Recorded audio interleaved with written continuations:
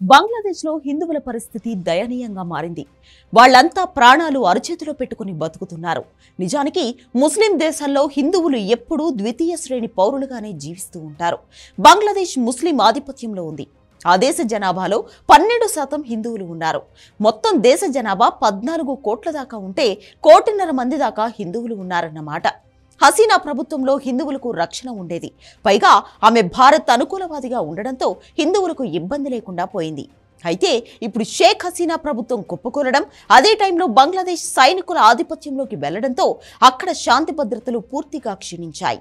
నిజంగా రిజర్వేషన్ల కోసమే పోరాటమే చేస్తే హసీనా రాజీనామాతో వాళ్ళంతా వెనక్కి తగ్గాలి. అయితే పరిస్థితి అలా కనిపించడం లేదు. అరాచకం రాజ్యమేలుతోంది అక్కడ. హిందువుల మీద దాడులు చేస్తూ మతపరమైన హింసకు పాల్పడుతున్నారు. హిందువుల ఇళ్ళలోకి నేరుగా వెళ్ళి చిత్ర హింసలు పెడుతున్నారు. మంటలు అంటుకున్న హిందువుల దేవాలయాలు కొన్ని రోజుల్లో ఎన్నో. దీంతో హిందువులు బయటకు రావడం లేదు. బిక్కు బిక్కుమంటూ ఇళ్ళలోనే గడుపుతున్నారు. అయినా సరే ఆందోళనకారులు హిందువుల ఇళ్ళకు వెళ్ళి తలుపులు బద్దలు కొట్టి మరీ వారి ఆస్తులను ధ్వంసం చేస్తున్నారు. హిందూ మహిళల పట్ల అసభ్యంగా ప్రవర్తిస్తున్నారు. నరకం చూపిస్తున్నారు.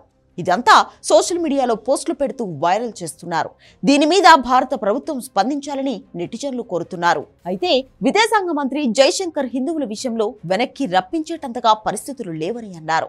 భారత ప్రభుత్వం ఇలా చెబుతున్నా బంగ్లాదేశ్లో హిందువులకు మాత్రం రక్షణ లేదని నెటిజన్లు అంటున్నారు. అక్కడ సైన్యమైనా కొత్త ప్రభుత్వమైనా హిందువులకు రక్షణ కల్పించాలని కోరుతున్నారు. All eyes on Bangladesh Hindus అనే హ్యాష్ ట్యాగ్తో సోషల్ మీడియాలో ట్రెండ్ చేస్తున్నారు. ఈ మధ్య ఓ మహిళ పెట్టిన వీడియో ప్రతి ఒక్కరితో కన్నీళ్ళు పెట్టిస్తోంది. దీంతో బంగ్లాలో హిందువుల పరిస్థితి తలుచుకుంటేనే జాలేస్తోంది ప్రతి ఒక్కరికి.